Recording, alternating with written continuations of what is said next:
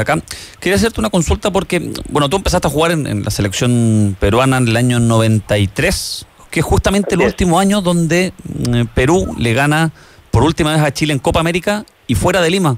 ¿Por qué crees que eh, a la selección eh, de tu país le cuesta tanto ganar este clásico del Pacífico cuando se juega fuera de Perú?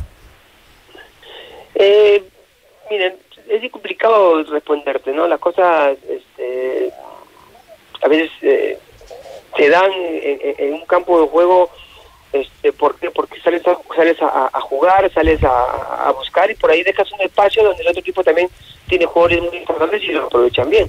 En este caso a nosotros nos ha pasado eso, porque los partidos, como tú dices, los partidos entre Perú y Chile han sido muy buenos. Yo no, yo no, yo no, no encuentro alguno que por ahí de repente pues diga, no, ha sido un partido bajo, este, esta selección ha sido hasta abajo, no.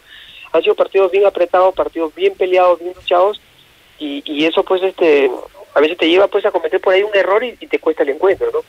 Nosotros hemos tenido la mala fortuna de que, como tú dices, en, partido contra Chile, fuera de casa o fuera de Perú, no hemos podido ganar, pero en casa sí lo hemos conseguido. Entonces, este, y en partidos, el día de, del miércoles se ve un gran encuentro, un, abierto, un partido lindo, un partido vistoso, y pues al final pues que gane el mejor, ¿no? Que aproveche mejor las oportunidades que, se, que tenga la, la, la, la, alegría y la felicidad de estar en una, en una